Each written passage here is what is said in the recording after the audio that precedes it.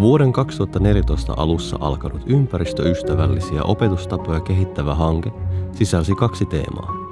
Opintojen monimuotopolku sekä DI-kiihdyttämä.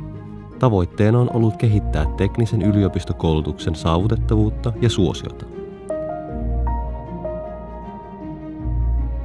Monimuotopolun kehittämisessä etsittiin hyviä käytäntöjä työssä käyvien ja kauempana asuvien opiskelun joustavuuden lisäämiseksi.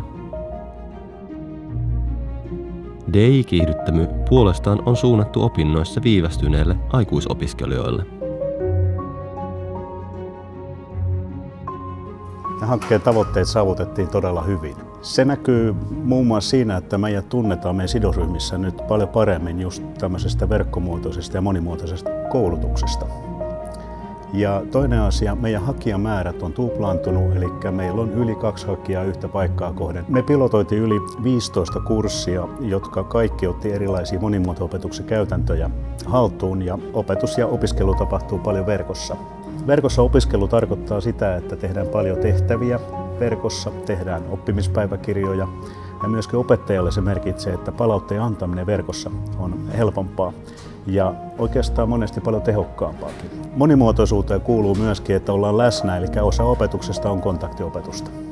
Monimuoto-opiskelu on ympäristöystävällinen tapa suorittaa opintoja. Se jakaa nimittäin kuormaa tasaisemmin ja matkustaminen vähenee.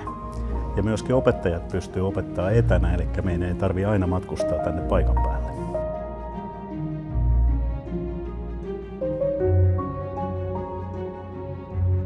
Tässä hankkeessa selvitettiin MOOC-kursseja, joita voitaisiin käyttää hyväksi ohjelmointiopetuksessa.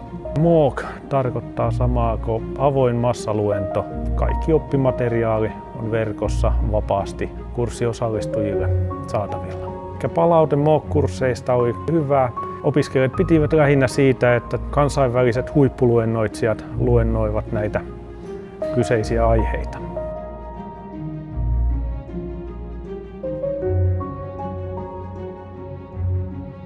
DI-kiihdyttämön perustaminen ja tuotteistaminen olivat tämän hankkeen selkeitä tuloksia, joiden avulla TTYn Porin laitos pystyy parantamaan opetustarjontaansa. Kyselyyn vastanneet haluaisi työn ohella suorittaa opintonsa loppuun ja DI-kiihdyttämön kaltaiselle konseptille olisi tarvetta, joten sen jatkotoimenpiteet ovat kehittelyn alla.